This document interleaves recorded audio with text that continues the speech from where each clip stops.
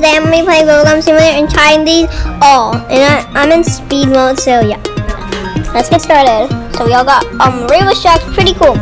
Then we're gonna try it, and then we're gonna try to hex and Rainbow Shock all together. Try the second world, okay? Okay, now it's added. Okay, ready? Ooh! It's so OP.